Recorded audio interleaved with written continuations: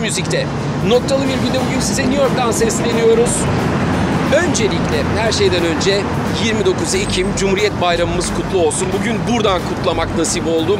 29 Ekim Cumhuriyet Bayramı'nı bir kere daha kutluyorum. Bugün neler yapacağız? Önce çok klişe şeyleri yapmaya çalışacağız. İşte Empire State binasına çıkmak, Brooklyn'e gitmek, Times Meydanı'nda şöyle bir turlamak gibi. New York'ta Çekmeceler filmi Chelsea Film Festivali'nde gösteriliyor ve yarışıyor. Dolayısıyla onun yönetmenleri Mehmet Bina ve Caner Alper'le birlikte olacağız. Ayrıca filmin oyuncularından ve son zamanlarda Cahide müzikaliyle çok konuşulan Nilüfer Açıkalın'la birlikte olacağız ama New York'a gelmişken Brooklyn'e geçeceğiz, Rough Trade'e gideceğiz. Çekmecelerle sınırlı kalmayacak sohbetimiz. New York sokaklarını şöyle bir çalkalayacağız ve elbette Central Park'a gideceğiz. Ne kadarını yetiştiririz bilmiyorum. Hava biraz soğuk, şifayı kapabiliriz ama başaracağız. Hafif çılgınlıklarımız olacak ve hepsi New York'ta. Metro çok meşhur tabii New York'ta. Şu anda biz 6. cadde ile 34'ün kesişimindeki e, metronun girişindeyiz. Çok hızlı bir şey söyleyeceğim. Burada sokak müzisyenleri, metro müzisyenleri belediyenin e, seçimiyle e, ancak e, bir yer bulabiliyorlar kendilerine. Bir deneme yapıyorlar. Yani işte audition'a giriyorlar. Audition'a isterse halk da katılabiliyor. Çünkü yani o dinleyecek o müziği. Halk da katılabiliyor. Kurul geliyor. Onlar gösteriyorlar falan. Ondan sonra A, B, C kategorileri belirleniyor. Bu kategorilere göre de dağıtım yapılıyor. Metro ağında kim nerede çalacak buna göre belirlenebiliyor. Yani New York'a gelmek kolay. Ben New York'a giderim falan ama öyle her şey kolay değil. Burada sokak müzisyeni ya da metro müzisyeni olmak bile iş.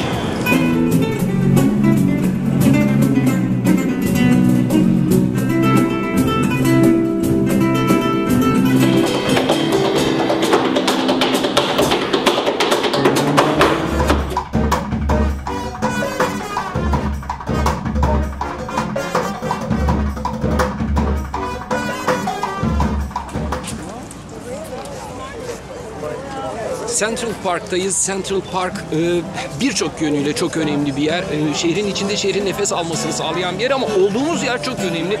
Olduğumuz yerde Imagine yazan şu e, mozaik çalışmasını görüyorsunuz. Zaten şu anda herkes fotoğrafını çekiyor. Herkes burada buluşuyor. Neden?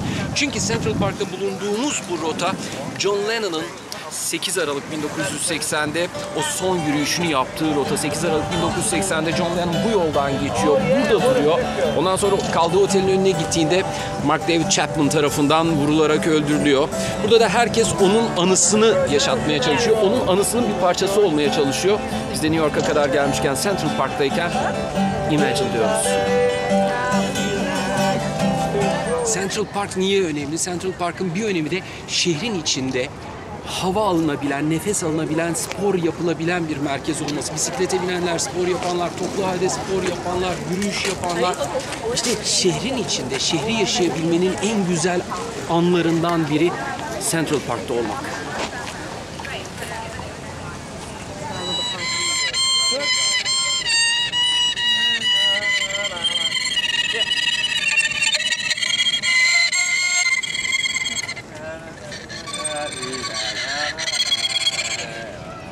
Tümüyle bambudan yapılmış geleneksel bir uzak doğu çalgısı.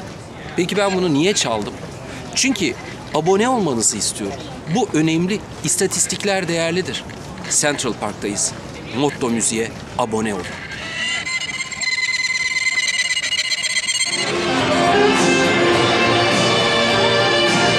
Anonslarda gürültü var falan demek yok. Çünkü gürültülü ortamlardayız. Ortam sesini de duymanız lazım.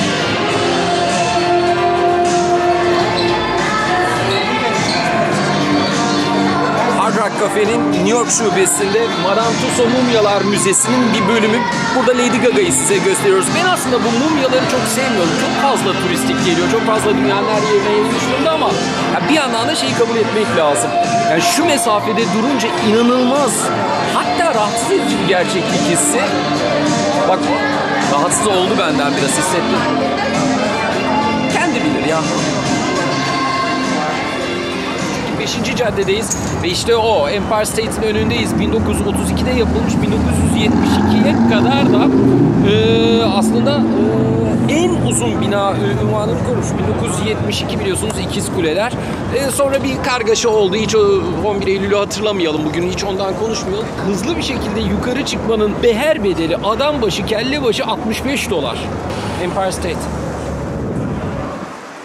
Bugün Manhattan'dan Brooklyn'e geçtik. Brooklyn bambaşka bir dünya tabii. Yani New York'un bütün bölgeleri, o 5 bölgeden her birine gittiğinde bambaşka dünyalarla karşılaşıyorsun. Burası aslında New York'la birleşmese e, çok büyük bir e, nüfusa sahip bir e, şehir olarak e, hayatına devam edecekmiş. Neyse onlar ayrı hikayeler. Tarih dersi vermek değil amacım ama rough trade'i anlatmak lazım. Burası çok özel bir yer. E, sadece bir plak dükkanı ya da bir müzik dükkanı değil. Burası aynı zamanda müziği belirleyen dükkanlardan biri. Yani bir e, e, şey nedir plak şirketi işte basıyor falan filan çıkardı. Çok önemli sanatçılar var. E, çok arkasında durduğu sanatçılar var. Ve şu anda tabii ki bir helikopter sesi olunca Timur müthiş rahatsız oluyor. Çevrede Timur istiyor ki hiç ses olmasın. Dünya sussun. Her şey sussun. Ona anlatamadım. Hayat devam eder. Hayatın içinde dinleyici almak istediğini alır. İsteyen kulak istediği bilgiyi alır. Bırakın Allah aşkına helikopterde geçiversin. Acayip iyi bir yer. Plaklar, kitaplar, e, farklı fasiliteler diyeyim ben ona. Yani içeri girip böyle pedal medal da deneyeceğiz. E, bakalım ya paramız yettiğince tabii. Bakacağız paramız yettiğince.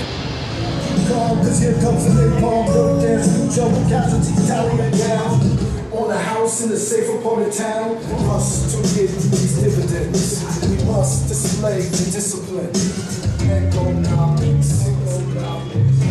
So today, gotta give it to Plak tekrar aramıza dönüyor. Bunun aslında bütün dünyada birçok belirtisi var. Ee, Amerika'da da bunu çok sık görüyorsunuz müzik marketlere gittiğinizde. Yani tekrar o vinil meselesine dönüldüğünü. Hatta biliyorsunuz e, aslında kaset de tekrar geliyor. Yani CD koleksiyoncuları ayrı kaset de tekrar geliyor. Elbette bir yandan yani işte dijital ortam, dijital yayıncılık falan devam ediyor ama böyle bir geriye dönüş de var. Böyle bir arayış da var ama plakta ayrı bir şey var. Nesne olarak plak e, başka bir ilişki doğuruyor dinleyiciyle arasında. Dolayısıyla e, ben bayağı bir olay, e, plak olayında bayağı başka yerlere gidiyor. Şöyle biraz bakalım.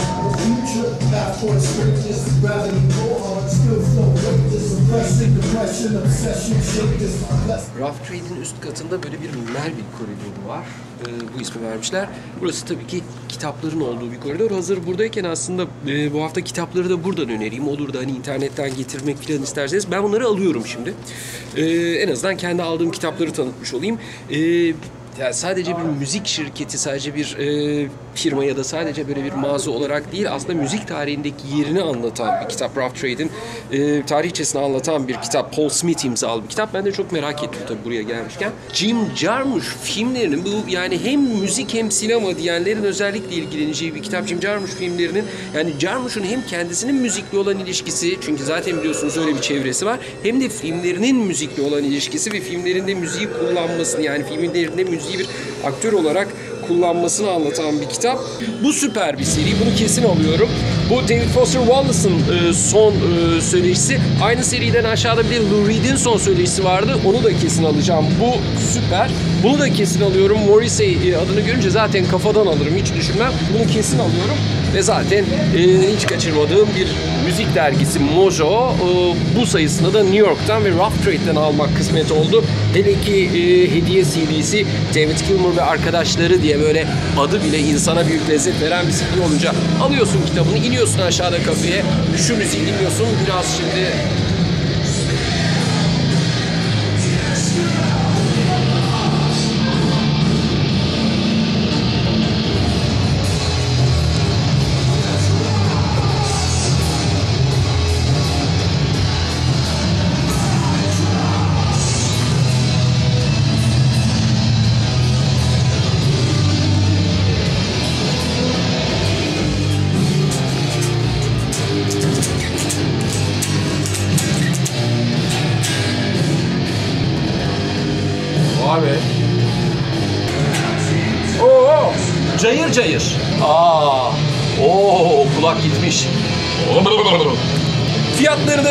sana.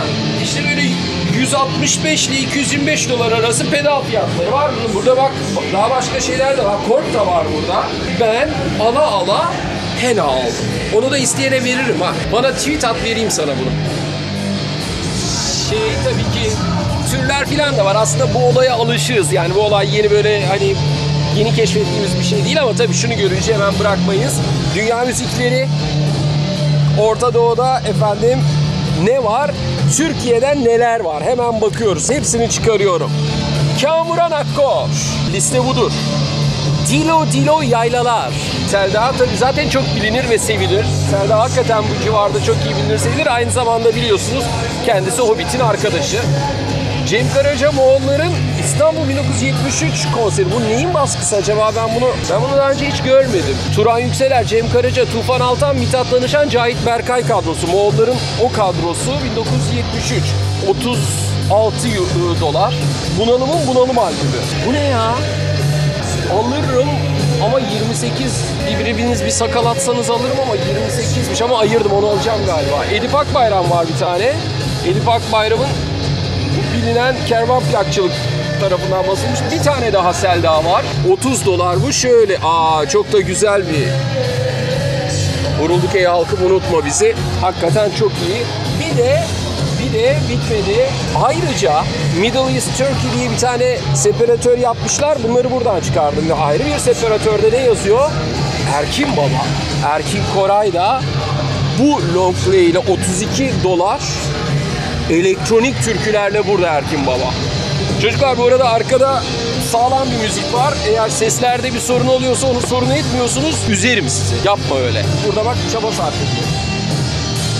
Hakikaten harika bir yer. Brooklyn'deyiz şu anda. Eğer bez çanta verselerdi diyecektim ki yorumlar bölümüne bu bizim New York çekimlerimizle ilgili en baba yorumu yapanların arasından bir çekiliş yapalım. O bez çantayı da ben kendi ellerimle hediye edeyim ama laylon torba verdiler. Bez torba 10 dolarmış. Dedim olmazdım zaten ancak şey yaptık. New York'a sadece böyle işte bıdı bıdı etmeye gelmedik. New York'ta Çekmeceler filmi Chelsea Film Festivali'ne katıldı. Chelsea Film Festivali'nde gösterilmesinden hemen önce, hemen önce film yönetmenleri Caner Alper ve Mehmet Bina ile bir araya geldik ve oyuncu Nilüfer Açıkalın da yanımızdaydı. Daha sonrasında ödül haberi geldi. Çünkü o söyleşiyi, biraz, birazdan izleyeceğiniz söyleşiyi yaptık. Hemen akşamında da Nilüfer Açıkalın Chelsea Film Festivali'nde en iyi yardımcı kadın oyuncu seçildi. Tebrik ediyoruz, kutluyoruz. Bakalım neler anlattılar bize. Ondan sonra New York turumuzu tamamlayacağız.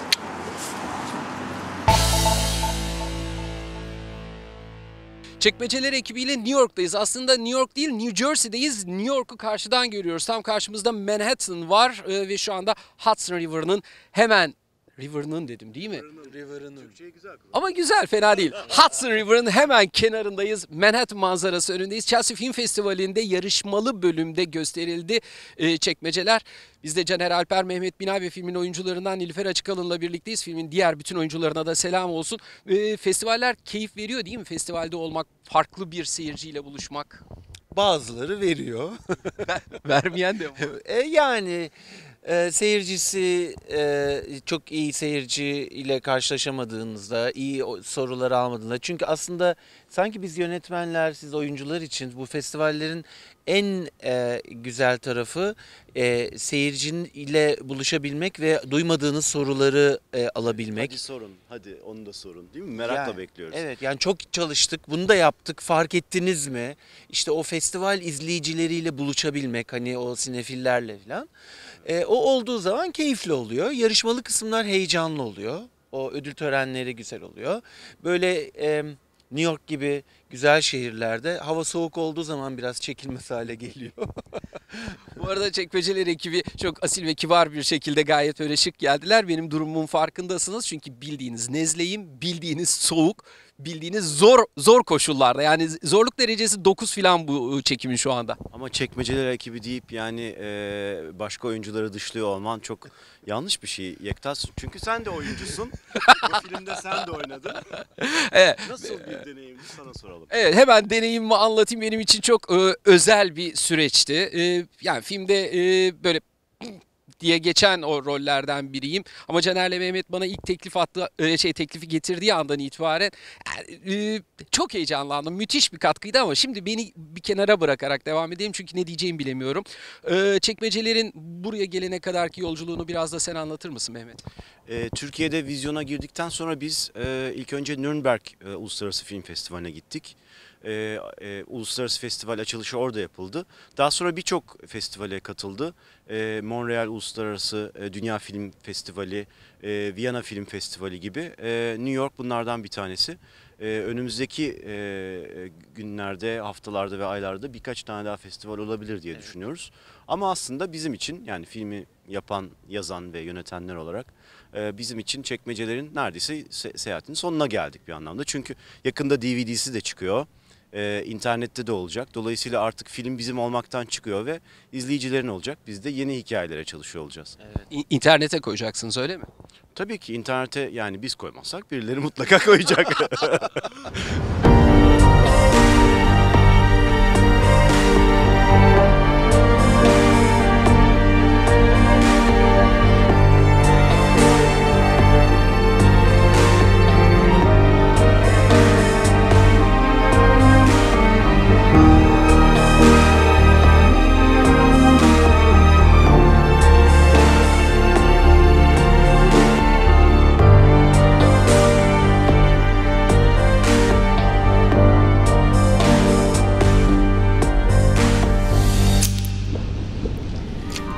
çekmeceler kilitli kalır.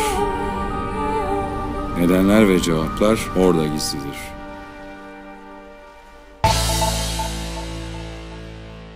Ya hakikaten e, Caner'le Mehmet'in çalışması öyle bir şey ki küçücük bir sekans için bile e, günlerce prova, günlerce çalışma, günlerce anlatma, günlerce alma, verme. Ama e, bu filmde gerçekten oyunculuk yapmış sen ve senin gibiler için kendim için demiyorum tabii. Nasıldı süreç? Çok etkileyiciydi. Çok heyecan duydum Caner ve Mehmet'le çalışmaktan. Çünkü onları insan olarak bir kere çok sevdim ve kalbimin içine aldım. Bu apayrı bir şey. Çalışma anlamındaysa o kadar disiplinlilerdi ki ve benim için en önemli kıstaslardan biri bu. Ee, ve çalışmayı çok çok çok seviyorlar. Hiçbir zaman çalışmaktan kaçmıyorlar. İstediklerinin en iyisi olana kadar uğraşıyorlar. Değişik bir çalışma süreciydi aslında. Çünkü e, sinema da pek fazla prova yapılmaz ancak sette prova yapılır ama biz film başlamadan aylar öncesinde provalar yapmaya başladık. Nerede bulsalar prova yapıyorlardı. Ben de telefonda prova yapmışlığı var. ya telefonda prova yaptılar. Nilüfer çok mütevazi bir sanatçı. Ee, festivallerin nasıl bir heyecanı oluyor diye sormuştun ya ilk başta. Ya o söylemez ben söyleyeyim. Mesela buradaki festivalde e, tanıştığı bir e, kişi, kişi tarafından acaba New York'ta yeni oyununu sergiler mi diye bir soru geldi. Cahide yani oynuyor. aslında Cahide'yi şu anda oynuyor. Ee, bu festivallerin ve kültürel etkileşimlerin bu tür güzel bir tarafı var. Çünkü e, sanatsal bağlantıları kurabiliyorsun. Yani Nilüfer'in bunu bu bağlantıyı kurmuş olması. Ben çok heyecanlıyım. Umarım Nilüfer'i Broadway'de görürüz. Yani Nilüfer ayrıca da e, Nilüfer çok hamur gibi biz e, e, çok iyi çalıştık. Hep sette e, gözü hep bizde olan birkaç tane oyuncudan bir tanesiydi. Çünkü bazılarıyla prova evresinde çalıştıktan sonra onlar kendi yolculuklarını çıkıp sette daha rahat çalışıyorlar ama Nilüfer hep sonuna kadar e, yönetmenle göz kontağını hiç e, bırakmayan oyunculardan bir tanesi. Hamur gibiydi. Onun için de karşılığı çekmecelerde çok iyi çıktı.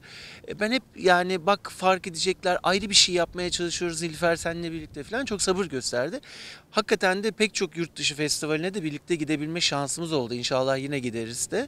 Ama e, ayrıca da çok çılgın yani iki gün New York'a gelmek ister misin dedim. Çünkü dördüncü gün yani birinci gün ve dördüncü günde oyunu vardı. Aa ben gelirim hiç problem değil dedi. Gece bir tam gün. İki yani gece bir tam evet. gün için New York'a geldi. Hiç önemli değil. Ben yine nasıl olsa geleceğim hissediyorum deyip geldi. Onun için de ayrıca teşekkür ederim. Şimdi çekmecelere yine dönelim ama ben nasıl olsa yine geleceğim hissediyorum. Bu, bu, bu cümleyi alıyorum hop. Ondan sonra burada bir davet geldi cümlesini alıyorum hop. Bir Broadway daveti ve Cahide'ye gidiyoruz. Cahide e, çok kısa bir süredir sahnede. Evet evet henüz 6. oyunum oynadım. Düşün. Fakat 6 oyunda ben sosyal medyada olsun, basında olsun ya da kendi e, kulak gazetemden öyle güzel şeyler duydum ki. Gelemedim henüz. Ee, borçluyum, borçluyuz. Ee, hep beraber gideriz. Üçünde gidiyoruz. 23'ünde. Bize davet etti. Seni Etmedi.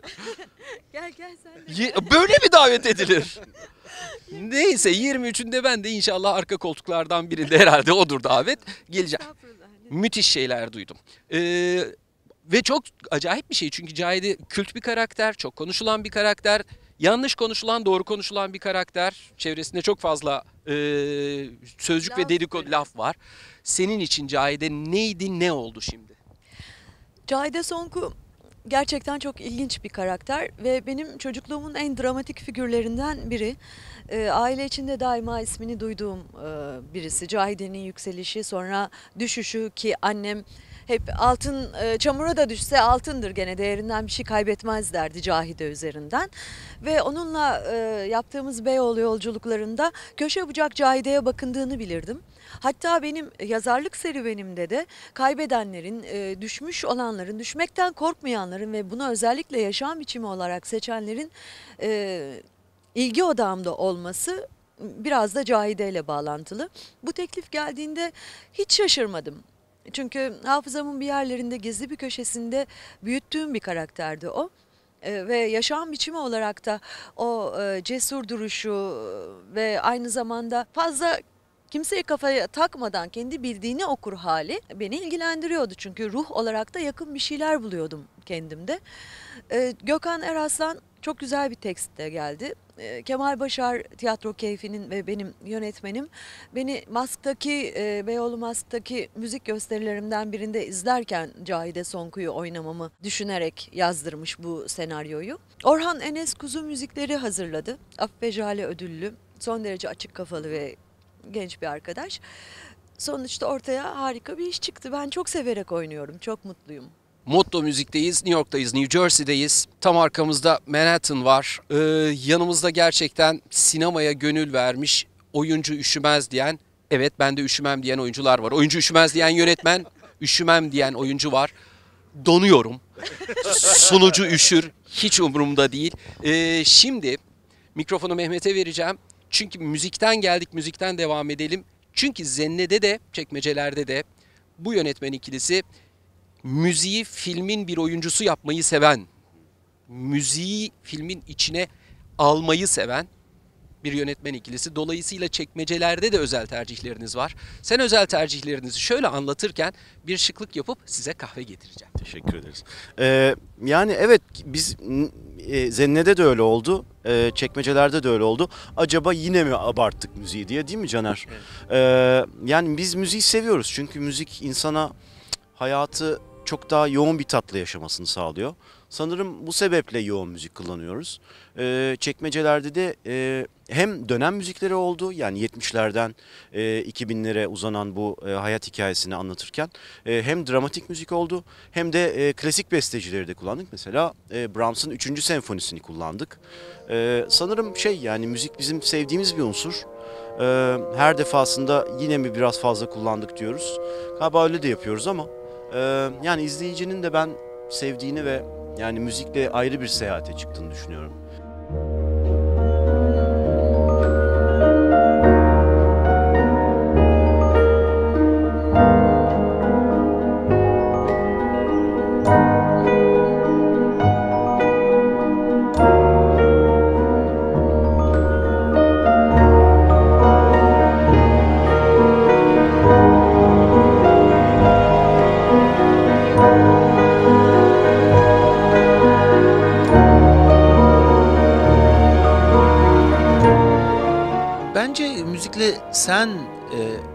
Film sürecinde ayrı bir yolculuğa çıkıyorsun. E, bunu hazırladığın yani Zenne'de Paolo Potti ile bu film Demir Demirkan'la bunda e, Hasan Özsüt'le e, müthiş bir yolculuk yaptığınıza ben şahit oldum. Mehmet'le e, e, müzisyenler çalışırken tabii yani onlara pek çok varyasyon e, için esin kaynağı oluşturuyor Mehmet. E, bir süre sonra e, durdurulamaz hal alıyor ve film e, 120 dakika onlar 280 dakikalık müzik yapmış oluyorlar. Ben ses montajında onları yok etmek e, göreviyle karşı karşıya kalıyorum. Bunu da atıyoruz, şunu da atıyoruz, değil mi? Atıyoruz. Bu sahnede de sessizlik, bunda da hiç yok. Hatta o kadar çok müzik olduğunu düşündüm ki final jeneriği dalga sesiyle aksın. Müzik istemiyorum dedim. Onda da kavga kıyamet kazandık. İyi oldu şimdi. İnsanlar bir sessiz kalması lazım. Yani o kızın sesini duymaları pek çok o sesi kesilmiş kadının sesi gibi bir sesi. Işıl Özsüt çok güzel bir e, melodiyi mırıldanarak bitiriyor. Böyle sadece jeneriğin akması iyi geliyor dedik. Ee, Yekta Mikrofon Kopan sende kalsın. İyi gidiyor çünkü biz burada bayağı güzel Peki, bir bir sorun var. New York'ta kahvenin tadı daha mı farklı? Ya vallahi Mehmet kahvenin tadı falan değil öyle güzellemeler yapmayacağım ama şu çok güzel. Yani şehrin içindeki o devasa parkta yani Central Park'ta spor yapan, gezen, el ele dolaşan, kitap okuyan, çimlere uzanmış, e, oradan hemen gideceği bir şehir sinemasının programına bakan ya da bir festivalin programına bakan insanları görmek çok güzeldi.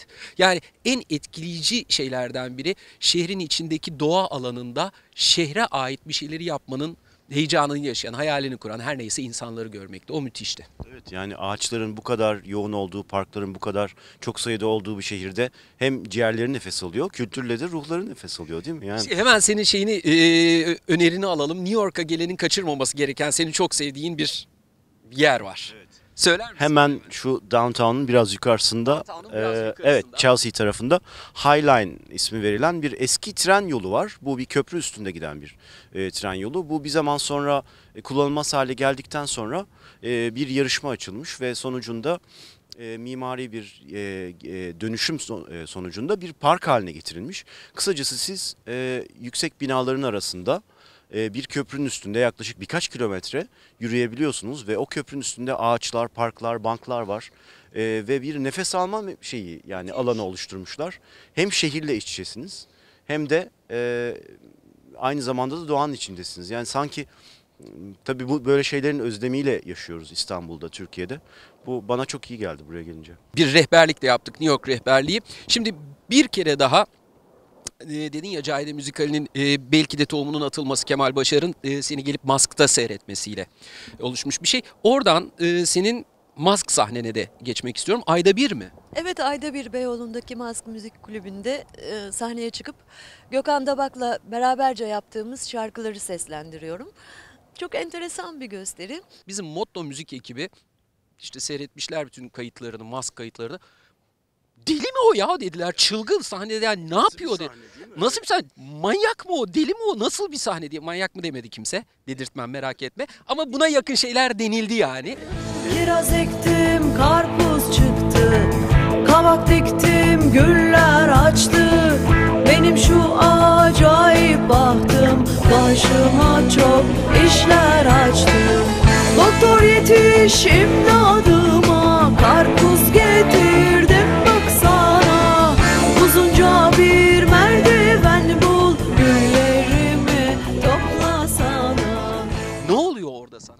deliyim. E, Normal değil. Eee, ne oluyor bilmiyorum şimdi.